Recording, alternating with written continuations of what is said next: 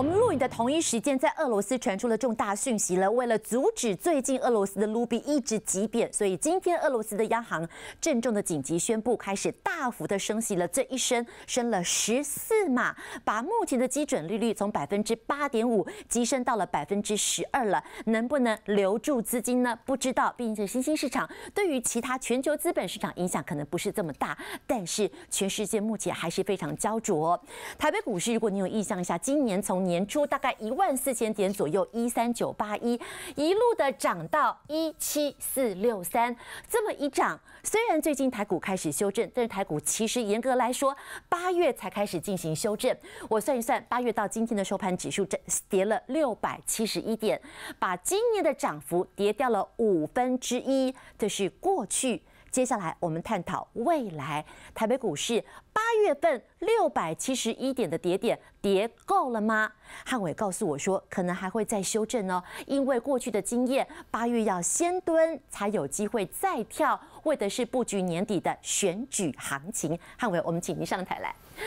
我们先来看看过去在过去的经验，当然不一定复制，但是过去的八月行情都怎么走呢？对，我们先来看一下过去三十七年以来台股每个月份不同的一个表现。那我们 focus 在所谓八九十十一十二这五个月份，我们看到其实每一年到下半年的时候，八月份这段时间里面，其实下跌的几率比较高。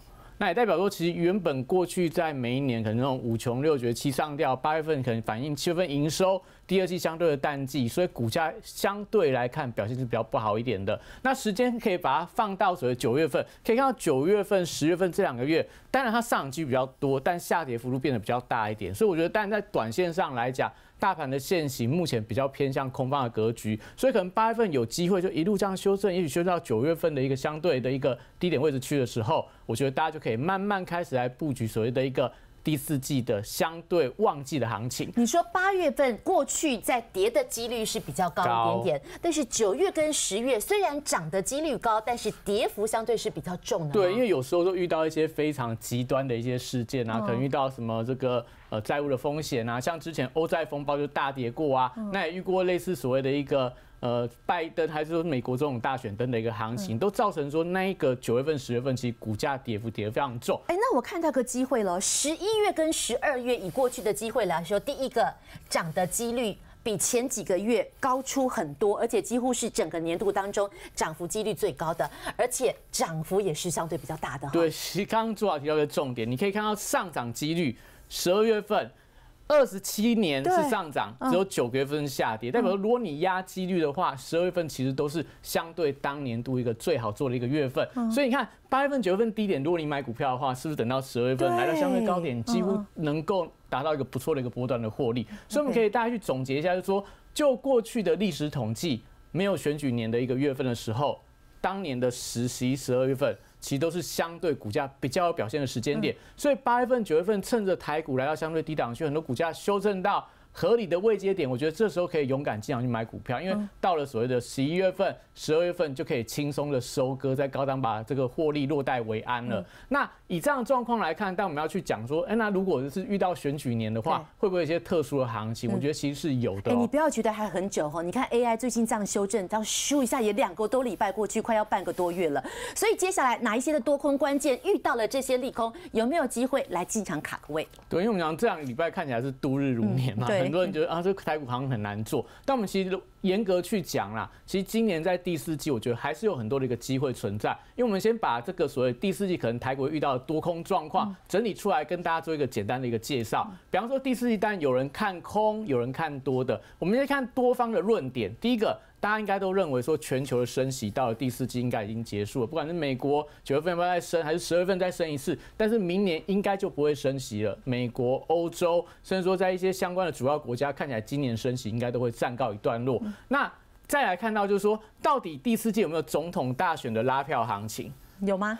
我觉得今年应该是有啦，因为今年的选战其实还是相当的焦灼嘛，所以我觉得政府在一些相关的产业政策跟经济上面，还是有一些做多的力道嘛。因为他除非是放弃了，不然我觉得应该整个政府在选前都会有一些利多的一个题材政策牛肉，会让大家有一些想象的空间。所以我觉得这个是在多方来看的话，第四季有机会的一些题材。第三个就是说大家所期待的，哎，电子业到第四季就是传统的一个旺季啊，旺季来临，业绩成长，股价，但我觉得随着业绩水水涨船高。机会很高。那这样我们可以看到，那到底第四季 AI 会不会有一些贡献获利的爆发？其实我这一这一点你就要看到，呃，下个礼拜的辉达的财报。嗯，如果辉达财报它对于这个第四季的展望还是非常乐观的话，哎，可能我些一些 AI 股它第四季整个业绩就出现比较明显的成长。所以猜测很重要，猜测很重要。那再来就是说，那到底到了第四季会不会台币还是持续贬贬不休？我觉得其实目前比较。更多人认为说，可能美元的转折要开始出现了，因为美国升息要到了一个尽头，对，所以美国元可能不太容易再出现强势的升值，反而出现比较明显的一个转贬。那这时候对于整个全球新兴市场来讲，资金会出现比较明显回流的状况。那我们再回头来看空方的论点，大家会说啊，你看现在看起来的话，虽然说大家都说金发姑娘经济啊会软着陆，但我们可以看到一些相关的数据，好像还是有经济衰退的风险，所以可能产业的一个获利会有下修。你看台湾的中金院啊，台湾央行对今年的下半年其实经济有在下修当中，反映到会不会真的有经济的衰退？那在我们看到会不会有地缘政治的风险？因为每次到了总统大选之前，可能对岸就会非常紧张，所以会有一些恐吓台湾的相关的一个动作出来。那我想，其实这个风险可能不会那么高，因为以目前大陆面临到的经济的状况来看的话，可能在这边在。呃，升高相关地缘政治风险，其实不是那么一个聪明的做法。那在我们讲说，第三个大家会担心说，哎，会不会有一些消费放缓、旺季不旺的一个消息？因为我们可以看到有一些所谓的消费大厂，像红海提到了，好像有这样的状况产生，所以大家会这个对这个第四季的一个经济的状况或企业获利有一定的担心。那另外一个就是大家对于 AI 股的一个最大的质疑，就是说，你看 AI 股啊，已经早过早就涨超过基本面了，现在反映到。二零二四、二零二五年的获利，本益比拉高到二十倍、三十倍，其实不合理。我觉得这都是比较正常的一个空方论点。那再来就大家讲说，你看到台币已经贬破三十二大关啊，所以资金在外逃当中，台币持续重贬下去，第四季行情会不好。那我们帮大家整理出来这两个论点，我觉得以我个人的看法，我会认为说，目前在第一项里面，这个确认。应该是七十个百分点。你说多方占有对，应该升级结束，我觉得这个应该是毋庸置疑，应该看起来是确定的。那在我们刚刚提到嘛，地缘政治风险跟拉票行情，我比较看好会有拉票的行情。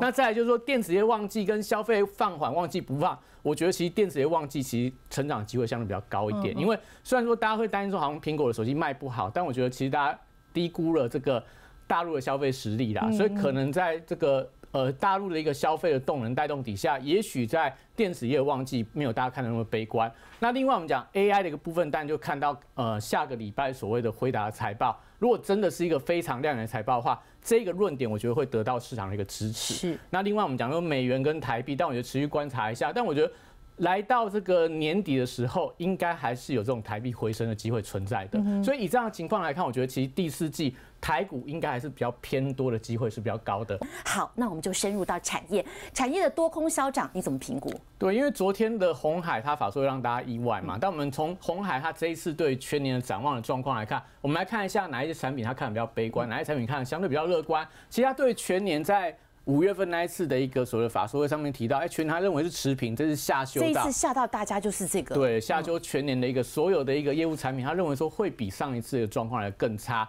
那当中，当然消费电子上一次已经看不好，这次继续看不好，我觉得是合理的。那云端他认为说，哎，看起来在伺服器的订单哦，原本他认为。上半年是持平的，就到下半年呈现下修。我觉得这也反映到很多的科技巨头在下修他们资本支出有关。对，也就是说，他们 AI 是提高他们资本支出，但传统的伺服器反反而是有些砍单的现象。所以，当然对这个所谓的呃红海来看的话，会觉得说，哎，我接到比较多传统伺服器的订单，从客户端感受到的是，其实在下修当中的。那再来讲电脑终端，就是所谓的笔电市场啊，或者说一些消费电子市场，目前来看，原本他预期说，哎。在上一次的法说会是提高它的一个预期，现在也是呈现一个下修的状况。我觉得跟最近所谓的一个框不可有一些所谓的砍单潮有关。但是整体上来看，你可以看到当中四个品相都呈现下修，唯独在哪元件跟其他，这是什么？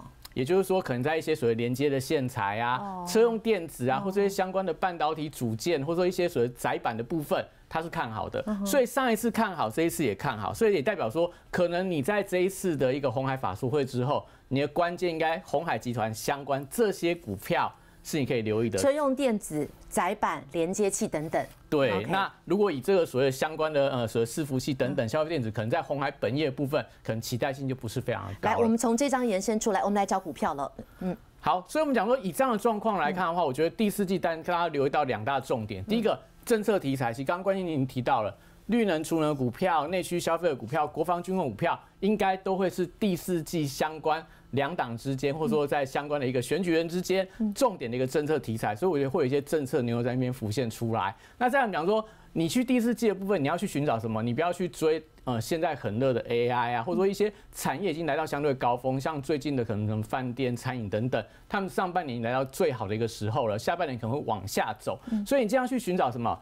它谷底已经慢慢出来了，也就是像笔电现在大家还是看不好啊，手机的部分大家也看得很悲观啊，航运股部分运价上半年是最谷底，下半年我觉得慢慢有筑底往上的机会，所以说半导体相关的族群，从所谓的晶圆代工的。台积电、联电啊，所以说很多 IC 设计，他们今年上半年库存去化完毕之后，下半年我觉得会有比较大的一个转机。那这样我们讲，机体族群也是一样情况。也代表说，你可以从这两个方向去找，找政策受惠的，找谷底将至的一个族群。我觉得在第四季已经布局它，其实风险是有限的，反而获利空间非常大。所以以这样的状况来看，帮大家选出几个操作的方法，也就是说，你可以从财报跟未接去做个简单的比较。如果说你手上的持股是未接很高，对。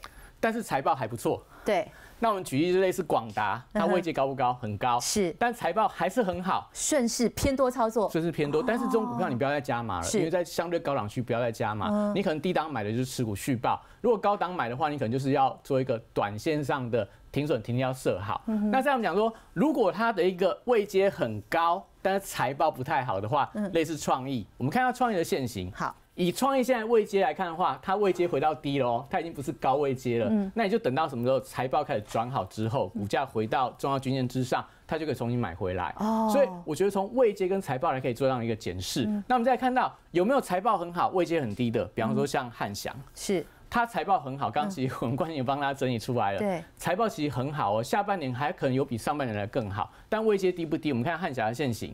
它其实未接现在回到这个平台整理区嘛，所以也代表这种股票你可能不能期待说我这边就重压马上就能够涨上去。但如果说你哎八月底买一次，九月底买一次，十月底买一次，后面第四季往上走的时候，我觉得就是能够平均到你的一个持股成本，应该是一个比较有机会的操作。那我们在讲说，那有没有一些未接又很低，财报也不好？哇，那这怎么办？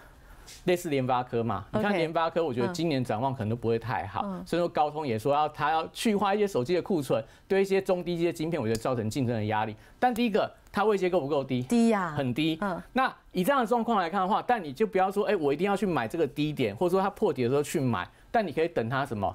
等它开始转强，比方说我们讲联发科，假设它能够重新站回到哎五日线之上，嗯，你这边去买它，就我觉得是一个比较好收入是什么？因为你会看到它接下来可能还是有利空的消息，但利空出来开始筑底不破底。哎，那代表说等到有利多，它就会往上走。是，所以你可以等它现行转强，你可以抓五日线、抓十日线进场去买。你说真的看错了，跌下来停损，这空间非常的小。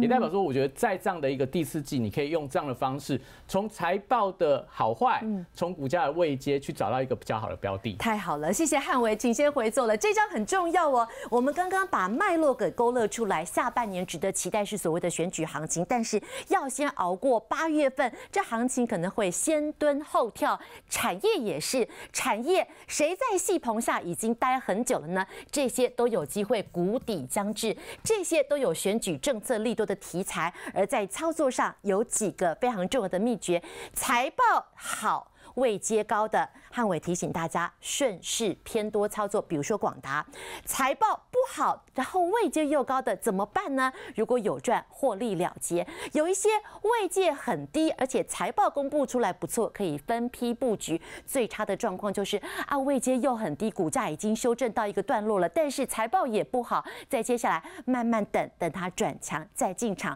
手中有股票的套进这几个原则，实际来模拟看看。但说到了位。未接说到了财报，台积电财报好不好？未接低不低呢？低哦，可最近才刚刚从低档酝酿开始交叉，而且回测了半年线，是不是进场的好时机？我们都知道买股票要买低卖高，但是说来容易做难呐，怎么实际操作？休息一下，庆龙告诉您。